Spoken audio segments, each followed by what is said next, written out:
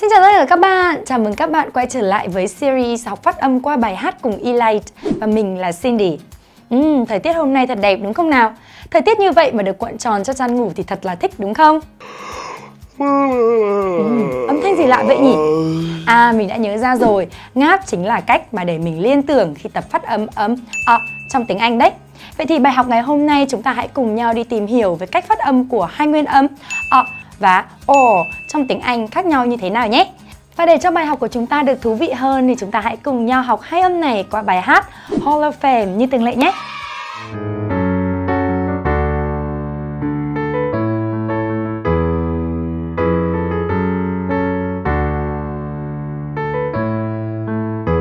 Yeah, you can be the greatest, you can be the best. You can be the King Kong banging on your chest. You can be the word, you can be the war. You can talk to God, go banging on his door. You can throw your hands up, you can beat the clock. You can move a mountain, you can break rocks. You can be a master, don't wait for luck. Dedicate yourself and you gon' find yourself.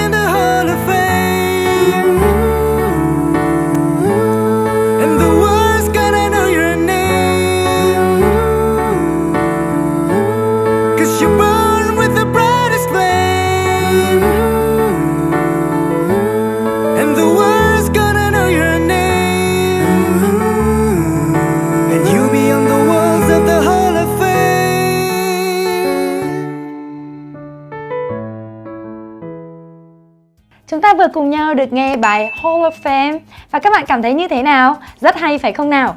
Nhưng trước khi bắt đầu bài học thì mình muốn đố các bạn một chút Trong bài hát này thì từ nào có chứa âm ồ và từ nào có chứa âm ọ nhỉ? Ví dụ nhé, từ wall, got, talk, door Uhm, phải sắp xếp như thế nào đây? Thật khó phải không? Mình biết bởi vì trong tiếng Việt của chúng ta thì không hề có âm ồ hay là âm ọ Chính vì vậy mà chúng ta sẽ thấy rất là khó phân biệt ở trong tiếng Anh hai âm này đấy. Ví dụ như các bạn bảo người nước ngoài nói tôi đang bị ho thì họ sẽ nói như thế nào? Hãy nghe nhé. Tôi đang bị ho. Các bạn vừa được nghe Ben phát âm câu tôi đang bị ho, các bạn thấy không? Không hề có âm o như trong tiếng Việt phải không nào? Vậy thì chúng ta hãy cùng nhau đi tìm hiểu với âm đầu tiên, đó là âm o trong tiếng Anh sẽ được phát âm như thế nào nhé. Trong tiếng Anh thì âm này sẽ cần phải trải qua 3 bước để phát âm được đúng. Bước đầu tiên đó là các bạn cần phải quan tâm đến cầm của mình. Khi các bạn phát âm âm này thì cầm của chúng ta sẽ hạ và khóe môi của chúng ta sẽ hơi thu về và lúc này môi chúng ta sẽ chu như thế này nhé. Ô. Bước số 2 các bạn cần phải quan tâm đến lưỡi của mình. Lưỡi của các bạn khi phát âm âm này sẽ được thu về và nâng cao về phía sau. Đầu lưỡi của chúng ta sẽ không chạm vào đâu cả. Ồ ô. Bước số 3, các bạn cần phải quan tâm đến cuống họng của mình. Khi phát âm ấm ô, các bạn sẽ thấy cuống họng của mình rung mạnh và lúc này chúng ta sẽ tạo ra âm như thế này nhé. Ô. Ô. Ô.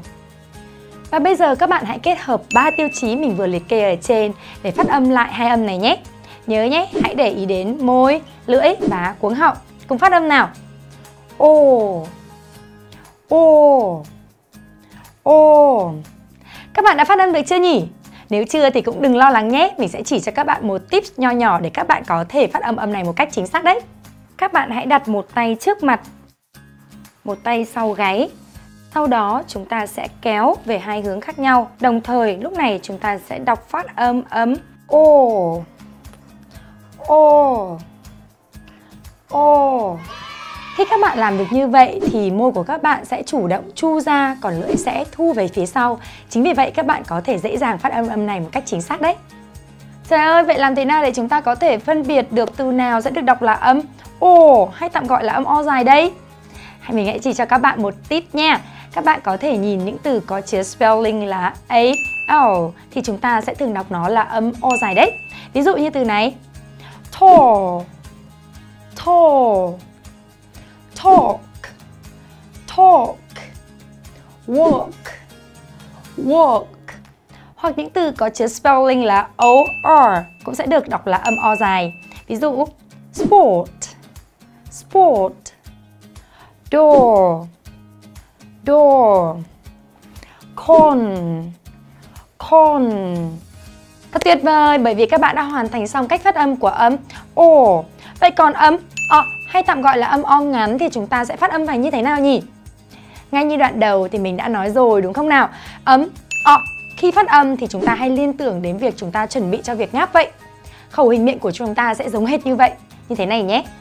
Ọ và khi phát âm âm này thì các bạn cũng cần phải để ý đến cằm của chúng ta. Cằm của chúng ta sẽ hạ thấp một chút và khóe miệng của chúng ta sẽ thu về tạo thành hình hơi tròn. Lưu ý là chỉ hơi tròn một chút thôi nha. Và miệng của chúng ta khi phát âm âm này sẽ cảm thấy được thả lỏng đấy. Bước số 2 để các bạn có thể phát âm được chính xác âm này, đó là các bạn cần phải quan tâm đến lưỡi của mình. Khi phát âm thì các bạn cần phải thu lưỡi về và nâng cao dần lên như thế này nhé. Và bước số 3, các bạn cần phải quan tâm đến việc tạo âm. Khi phát âm âm này thì chúng ta sẽ tạo âm thật nhanh và chưa đến một giây, cổ họng của chúng ta cũng sẽ rung và miệng của chúng ta sẽ giữ nguyên vị trí sau khi phát âm xong. À, à, à. Và bây giờ chúng ta hãy kết hợp ba tiêu chí mà mình vừa liệt kê ra để các bạn có thể phát âm được âm à, một cách chính xác nhé. Nào chúng ta hãy cùng luyện tập nào. À, à, à. Có một lưu ý nhỏ dành cho các bạn đối với âm này đây. Khi các bạn tra từ điển, ví dụ như với từ này, thì các bạn sẽ thấy có những cách phiên âm khác nhau. Theo anh Anh là như thế này và theo anh Mỹ là như thế này. Tuy nhiên thì hai âm này có cách đọc khá giống nhau. Chỉ có điều anh Anh thì sẽ thiên về âm O nhiều hơn, còn anh Mỹ sẽ thiên về âm A nhiều hơn. Chúng ta hãy đến với ví dụ này và các bạn có thể hiểu hơn được nhé. Box, đó là theo anh Anh. Theo anh Mỹ sẽ đọc là box. Các bạn đã phân biệt được chưa nhỉ? Rất dễ phải không nào? Vậy là chúng ta vừa học xong cách phát âm của hai nguyên âm u và O trong tiếng Anh rồi đúng không nào? Để chắc chắn là các bạn đã hiểu rồi thì chúng ta sẽ đến với cặp từ và có chứa hai nguyên âm này để xem các bạn đã nhận ra được sự khác biệt chưa nhé. Các bạn hãy cùng nhau nhìn lên bảng nào. Chúng ta cùng luyện tập nhé. Sport, spot, short, shot, port, và như ngay từ đầu mình đã nói thì chúng ta sẽ cùng nhau học hai âm này qua bài hát Hall of Fame. Vậy thì để các bạn có thể hiểu hơn thì chúng ta sẽ luyện tập với một số các từ có chứa trong bài hát này nhé. Từ đầu tiên có chứa âm O, wall, wall, door, door, talk, talk, thought, thought. Và những từ có chứa âm a ờ, như là rock, rock, God, God, on, on. Good job! Các bạn đã làm rất tốt rồi. Vậy là các bạn vừa học xong cách phát âm của các từ có chứa hai nguyên âm mà chúng ta đã học trong ngày hôm nay trong bài Hall of Fame. Vậy còn chân chừ gì nữa? Bây giờ chúng ta hãy bật đài lên và để luyện tập hai âm này qua bài hát này nhé. Vậy là chúng ta vừa học xong cách phát âm của hai nguyên âm O và O trong tiếng Anh rồi đúng không nào? Bây giờ chúng ta hãy dành ra 30 giây để tổng kết một chút nhé. Đối với ấm ồ, môi của chúng ta sẽ tròn, căng và chúng ta sẽ giữ hơi khi phát âm âm này. Ồ. Còn đối với ấm ọ thì môi của chúng ta cũng tròn nhưng được thả lỏng hơn và khi đọc âm này thì chúng ta sẽ ngắt và đọc chưa tới một giây. ọ. Amazing! Các bạn đã hoàn thành được trong bài học ngày hôm nay rồi, thật tuyệt vời phải không nào? Vậy thì bây giờ các bạn hãy xem ở trong bài Hall of Fame còn những từ nào có chứa hai âm O và O mà chúng ta đã học ngày hôm nay thì hãy comment ở phía dưới nhé. Còn bây giờ chúng ta phải tạm biệt nhau rồi. Hẹn gặp lại các bạn ở trong những bài học tiếp theo. Bye bye!